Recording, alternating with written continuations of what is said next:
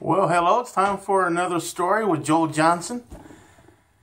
Well, this is Easter, and I want to tell an Easter story. The story originates with a man by the name of Joseph Campbell, a great philosopher. He tells the story about a man walking down one of the busiest streets in New York City.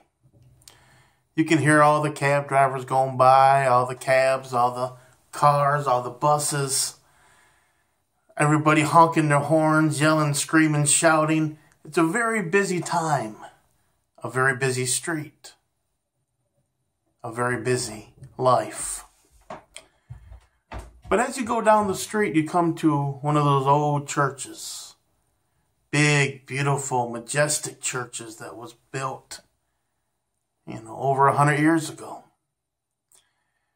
And as you go into the church and you leave the filth of the city, you leave the noise of the city. You leave the troubles of the city, the shouting of the city. And as you go into the church, it's quiet and it's still and it's peaceful. And as you go in there, you change from one situation to another situation. A transition takes place a transformation takes place. And you go from being in a hurry and being in loudness and busyness to slowing your pace down and being quiet and being reverent. And instead of hearing the shouts on the streets, you begin to hear the whispers in your soul. And things change. And to me, that's what Easter is all about. It's about changing.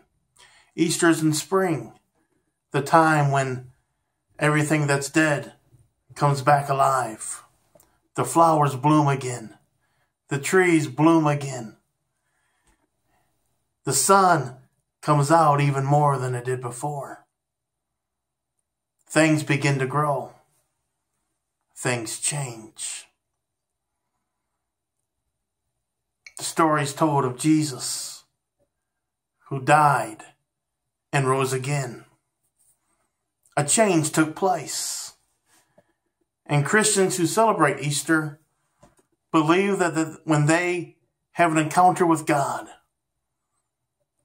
they change from death unto life.